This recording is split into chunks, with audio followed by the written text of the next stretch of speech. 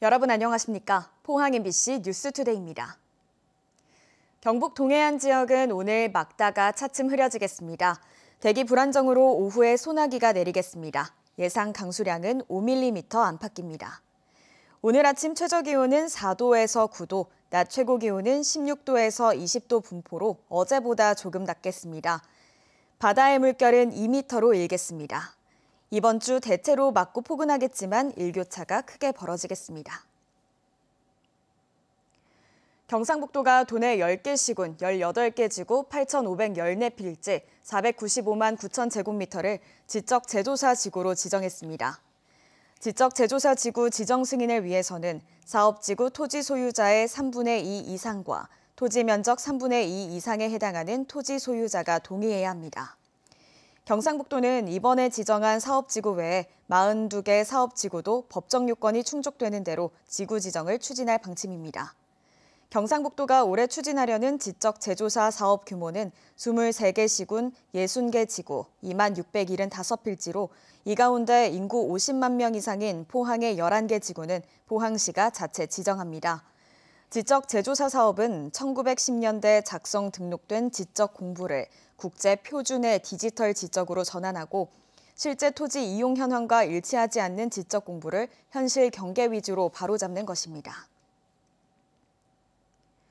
경북교육청은 저소득층 학생에게 기존의 교육 지원 활동비 지원비 외에 추가로 교육급여 학습특별 지원금을 오는 6월부터 지급할 계획입니다.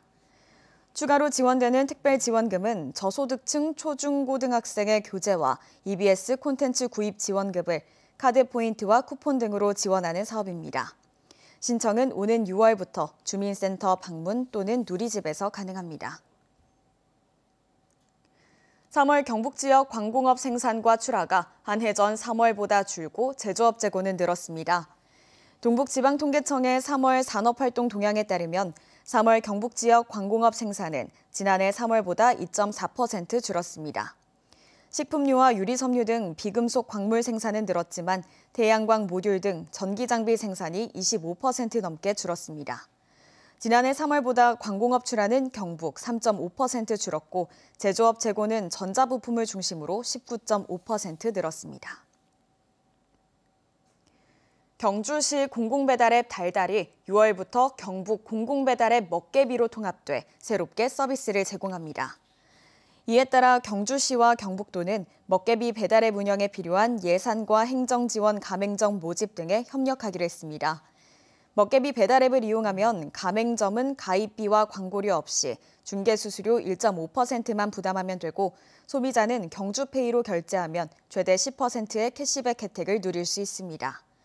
경북 공공배달앱 먹개비는 지난해 9월 포항과 구미 등 11개 시군에서 서비스를 시작해 회원 수 12만 3천 명, 누적 주문 55만여 건을 기록하고 있습니다. 어제 5월 1일은 132번째 맞이하는 세계 노동자의 날이었습니다. 우리 사회의 가장 밑바닥 노동을 짊어지고 있는 미등록 이주민 노동자의 삶에 대해 집중 보도하는 시간을 마련했는데요.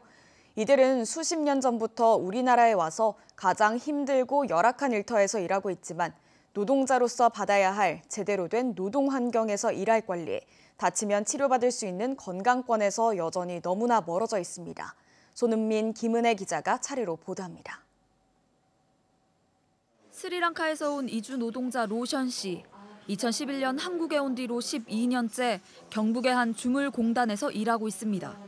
중금속을 녹인 쇳물로 자동차 같은 온갖 기계 부품을 찍어내는 일을 합니다. 3년 전 일하던 공장에서 쇳물이 쏟아져 다친 발등에는 큰 흉터가 남았습니다.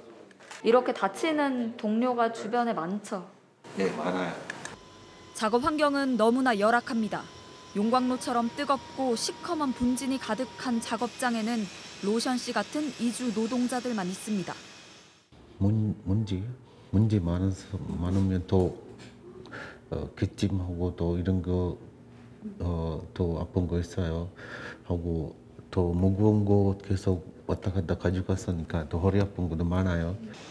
고된 노동으로 자주 목과 허리가 아프지만 병원에 갈 엄두를 내기 힘듭니다.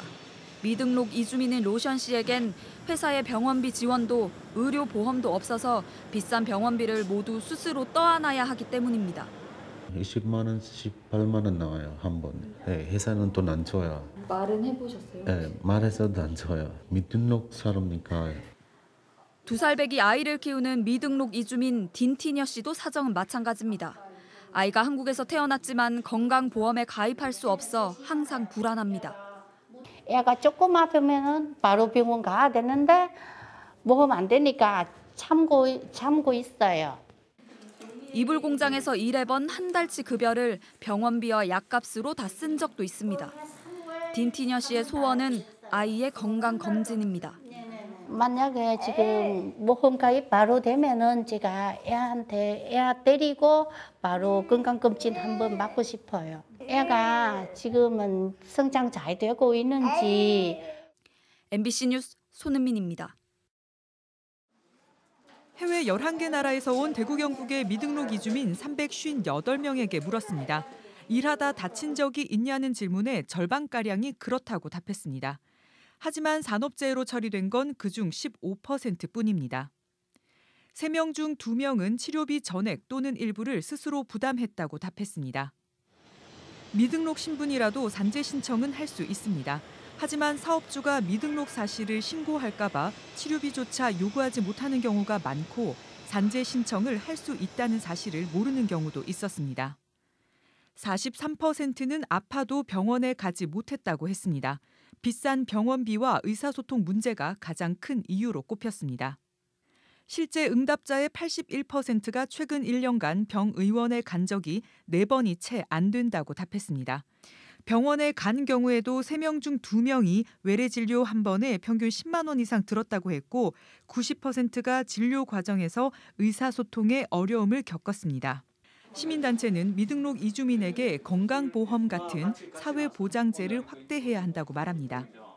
어, 정말 위험한 작업에는 이주 노동자들이 한국인을 대신해서 그 일자리를 지금 수행하고 있다. 어, 국적이나 국민 이것을 기준으로 가입과 비가입을 정하는 것이 아니라 어, 이 땅에 살아가는 누구나 건강하게 일하다가 어, 자기 나라로 돌아갈 수 있었으면 대구 경북에 사는 미등록 이주민은 2만 7,500명 정도로 추산됩니다.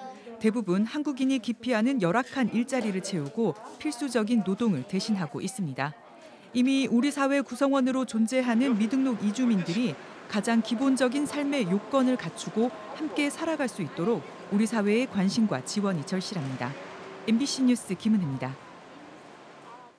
경주시가 옛 경주역 맞은편에 도시재생 유릴 사업의 일환으로 황오 커뮤니티 센터를 건립합니다. 황오 커뮤니티 센터는 지상 7층 규모로 128억 원을 들여 내년 5월 완공 예정으로 원도심 주차난 해소와 도시재생, 주민 공동체 활성화를 위한 거점 공간으로 활용됩니다. 주유 시설로 오픈 커뮤니티실과 경주 홍보 공간, 판매 시설을 확보하고 2층에서 5층은 주차장으로 지역민과 방문객에게 편의를 제공합니다. 경북교육청은 도내 초중고 학생들의 특허 출원 및 등록을 지원하기 위해 학생 발명 특허 출원 거점센터 세 곳을 운영하고 있다고 밝혔습니다. 학생 발명 특허 출원 거점센터는 포항과 안동, 구미에 소재해 학생 발명 특허 출원 83건, 특허 등록 20건, 51건이 특허 등록 심사가 진행 중입니다. 특히 학생들에게 지식 재산권 창출 기회를 제공해 4차 산업 시대에 요구되는 발명 인재를 양성하는 데 큰 도움이 될 것으로 기대됩니다. 경상북도는 어린이들이 재난 발생에 대처할 수 있도록 초등학생들을 대상으로 맞춤형 아이 안전학교 교육을 실시합니다. 도교육청과 경찰청, 시군의 추천을 받아 지역별로 최대 3개씩 지정된 아이 안전학교를 대상으로 교통안전과 화재안전, 지진대피 요령 등을 교육합니다. 한편 경북에서는 지난해도 33개 학교 4,400여 명을 대상으로 아이 안전학교 교육을 실시합니다. 경상북도는 올해 해양과학 기반 기업 지원 사업을 실시합니다. 해양 소재와 해양 장비 등 해양 과학 기술을 가진 지역 중소벤처 기업 및 창업 기업을 대상으로 해양 자원 산업화와 관리 시스템 구축을 지원합니다. 해양 플랜트와 해양 소재 분야 등 4개 기업을 선정할 예정이며 5월부터 기업당 최고 3,500만 원씩 총 1억 5천만 원을 지원합니다. 경상북도는 봄철 건조한 기후로 화재 위험이 증가하면서 민속마을에 대한 광역 소방 특별조사를 실시합니다. 이번 조사는 경주 양동마을과 영덕 괴시마을, 영주 무선마을 등 다섯 개 민속마을에 대해 조사가 실시됩니다. 화재로 이어질 수 있는 위험 요소에 대해 안전관리 대책 마련에 주안점을 두고 분야별 합동조사로 실질적인 안전관리가 이뤄질 수 있도록 조치할 예정입니다. 경상북도는 올해도 화훼 농가를 돕기 위해 도청과 의회 사무실 150곳에 주기적으로 꽃을 배송하기로 했습니다. 경상북도는 5월에서 6월엔 일주일에 한 번씩 꽃을 배송하고 7월부터는 2주에 한 번씩 배송할 계획이라고 밝혔습니다.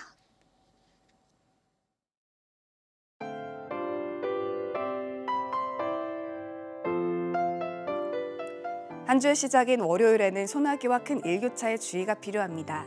대기 불안정으로 인해서 경북 동해안 지역 오후 한때 5mm 안팎의 비가 내리겠습니다. 경주의 오늘 아침 기온은 3.8도로 어제보다 5도가량 낮겠습니다. 한낮에는 20도까지 오르면서 아침과 낮의 기온 차이가 15도 이상 크게 벌어지겠습니다. 오늘 아침 기온 보겠습니다. 아침 기온은 4도에서 9도 분포로 어제보다 2도에서 7도가량 낮게 출발하고 있고요. 한낮 기온은 16도에서 20도까지 오르면서 어제와 비슷한 기온 보이겠습니다. 울릉도와 독도에는 맑겠습니다. 아침 기온 울릉도 9도, 독도 11도로 출발하고 있고요. 한낮에는 울릉도 14도, 독도 13도 선에 머물겠습니다. 동해 바다의 물결은 0.5에서 최고 2m로 잔잔하게 일겠습니다. 내일 오후부터 동해안 지역에는 강한 바람이 불어서 미리 시설물 관리해 주셔야겠고요. 이번 한 주 동안 비 없이 맑고 포근하겠습니다. 날씨였습니다. 이상으로 포항 MBC 뉴스투데이를 마칩니다. 여러분 고맙습니다.